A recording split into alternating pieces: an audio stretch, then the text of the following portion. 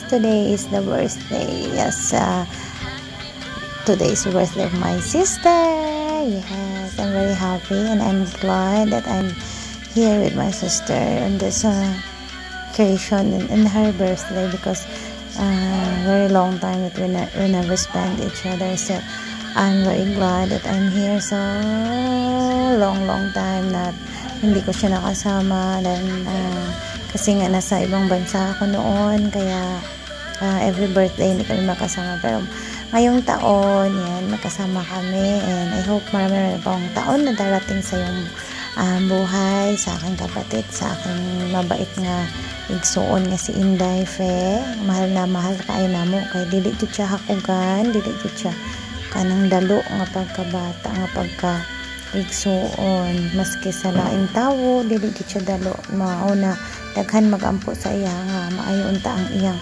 business may unta pa may iyang pamilya kay very ano ka siya very kind pa siya guys nga and hindi lang sa kay mama sa amin lahat kundi sa lahat ng mga tao kapitbahay niya kakilala niya.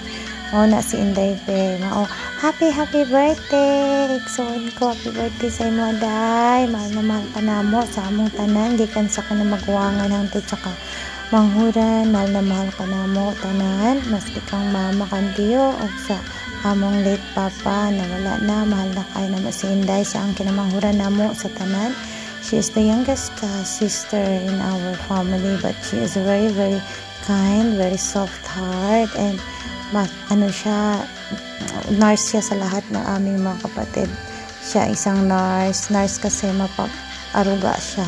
Kung may sakit ka talagang aalagaan ka niya at the same time pray prayful kay siya and devoted kay siya sa kanyang faith. Kaya thanks God sa buhay sa, sa akong igsuon at uh, pinagpipray ko lagi na always good health siya and always uh, yung mga family niya is uh, supportive or actually yung husband niya supportive talaga. Ever ever wala akong nakitang husband na kagaya sa husband niya. Kaya uh, very lucky. And my sister is very lucky.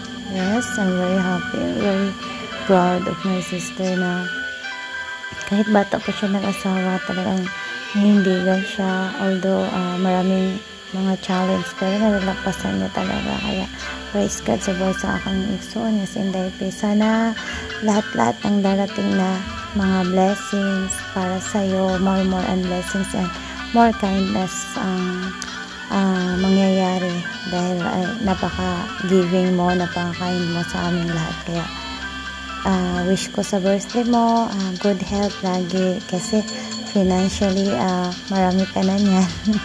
good health and more, more, more, more uh, strong faith. Yes, alam ko kuan ka ika ka ng fighter ka ika dili jud ka mo give up bisag sa mga challenge sa imong life kaya parehas tang duha dili kita mag-give up ko nang ko pray pray pray pray.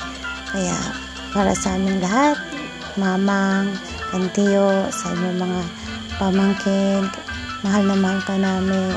Hindi mo man kami uh, hindi mo man nakikita in action pero sa aming kalooban. Pero ako more in action talaga ako supported sa akong manghod kasi makabalo uh, ko nga kuan ka ng need niya na kay kauban. Kaya para diri ko sa sa iha kanunay mauna pero may magkauban kayo.